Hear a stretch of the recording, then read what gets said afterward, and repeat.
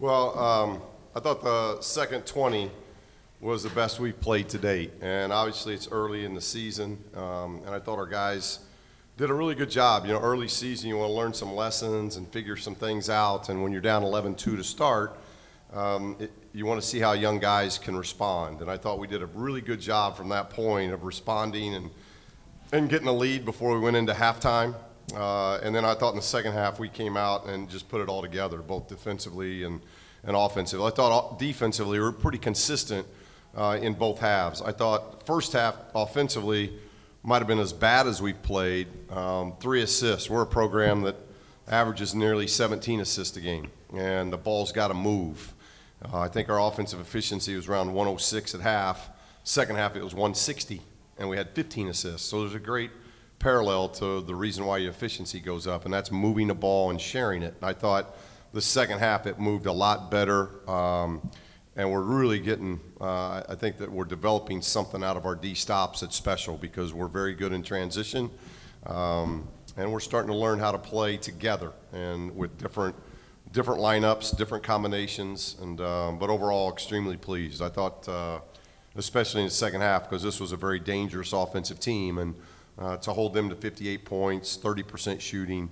Uh, there's a lot of positives defensively.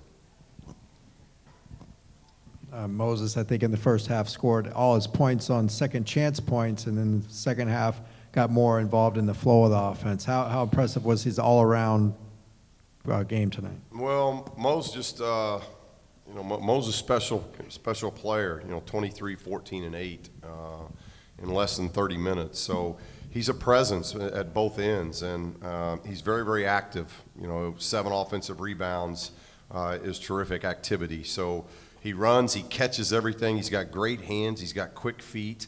Uh, you saw him a little bit today in, in getting a loose ball and dribbled it to about half court. There's going to be a day he's going to dribble it all the way. I, you know, and I'm not going to be able to stop him. Um, and he's capable of doing that. So he's just uh, he's a gifted individual, uh, but I just love his motor. He, has got a high motor, and when you've got a high motor at 7.2, um, you got a chance to be pretty doggone good. And uh, we're seeing that out of Mo. He's had a very special start to his uh, freshman year.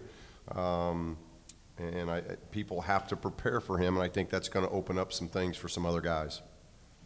Steve, you had another solid night from some of the bench guys, especially Jules. Are you at the point where you have confidence that they can either come in and hold the fort or even extend things? Yeah, I think, you know, again, it's early in the season, but we've always, always had confidence with freshmen. I've always played freshmen, so um, I, I, like them coming out of high school with their confidence and throwing them right in there. And, you know, we've always done that with our freshmen, and so we're doing that again with this group, and, and they're playing very well uh, with what um, obviously Moses, Jules, uh, um, and David are doing, and we got Kenny in there tonight, which was good because I like getting him some minutes.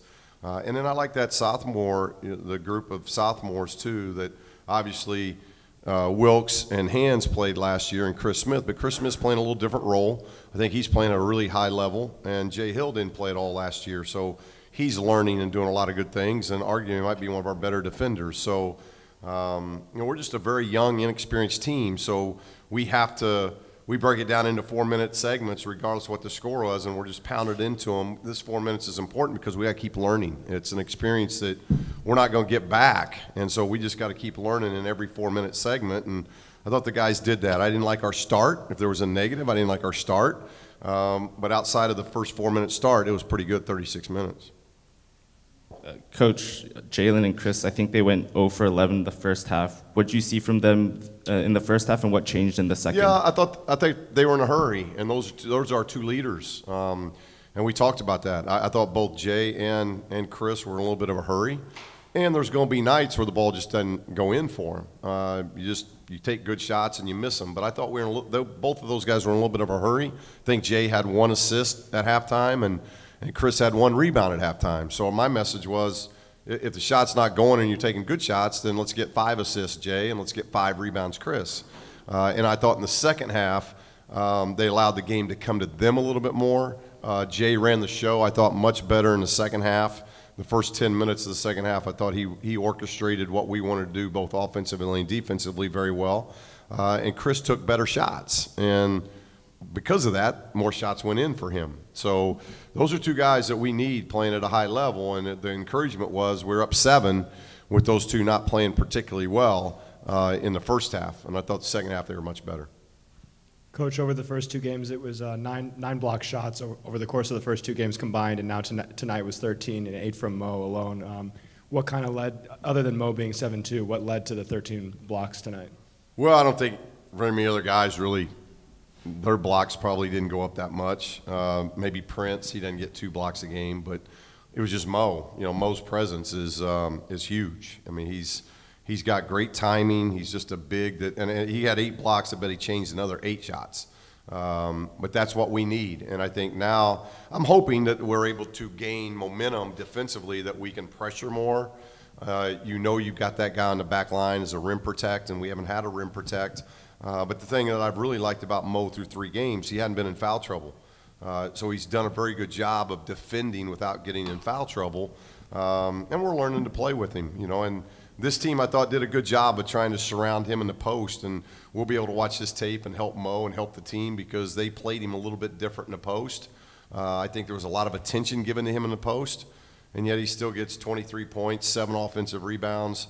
Uh, he's a load offensively, and um, really opens up things for the perimeter that way when we go inside out. And that's what we've got to be able to do offensively is make sure we're going inside out. Uh, one more thing about Mose. Uh, how strong is he and how strong is he going to get? Because, he, you know, obviously 7172 seems kind of wiry, but it seems Well, like when he's big. in, in the Yeah, he's- post, he can hold pretty- his own. He's pretty big and strong for a freshman. You know, if you look at his legs and he's got a great foundation to him. Uh, he's got pretty good strength. You run into Mo, you feel it, um, and he's got that. You know, we always told him he's like a young, like a young giraffe. Sometimes you don't know if he's going right, left, forward, backward. Uh, but because of that, it hurts. You know, you run into a young giraffe, that still hurts. you know, and uh, as he continues to mature, you're going to see him get even more fluid. But no, there are not too many bigs at 7'2 run the floor like he does. Um, not too many bigs have feet like he does. He's got quick feet, and he's got terrific hands. So when you're seven two, long, great hands, great feet, um, I wish I had him longer than what I'm going to have him because he's special. And uh, I think he's going to. Uh, I think he's. You're going to see him just continue to evolve because he's. Uh, he, like I've said, he's got a motor. He cares. He works. You can get on him. He responds to good, tough criticism uh, of making him get better. Like today, he played a, a, an individual. I think it was uh, 33. Always went. Always goes right shoulder. Um, he'll learn scouting reports uh, of that. That somebody's going right shoulder. He he's never heard of that before. And uh, so he'll learn that, that when somebody is one shoulder specific in the post, he'll learn to defend that a little bit better. And so he's like everybody else. You got to get better, and he'll learn from different things. But uh, um, Mo's, a, Mo's a special talent, and he's a terrific personality for our team. Coach, going back to the blocks, you guys had 13, but you also gave up 19 offensive rebounds. Is there any concern that guys are chasing blocks and giving up defensive rebounding position? Well, this team average, the team we were playing averages 19 offensive rebounds. So, uh, you know, if there was a, if there was a negative, again, I've got to watch tape. I, I thought we were much better in the second half uh, than we were the first half with offensive board, with their offensive board play. Um, but they did miss 50 shots. So if you miss 50 shots, you know, there, that's a lot, that's a lot of chances to go get it. So you miss 50 and you get 19 of those back. That means we got 31 of them. So it, it you know, it's just, you know, sometimes there's just so many misses that there, you know, that's going to be a difficult thing. But it's something that we'll stress, and um, we want to make sure that we're continuing to work on that. But I think our defensive efficiency tonight was around 81. So regardless of what board play looked like, if our defensive efficiency is going to be at that level, it's really, and you saw that in the second half, we scored almost 60 points the second half because we got a lot of stops and we can get out and run.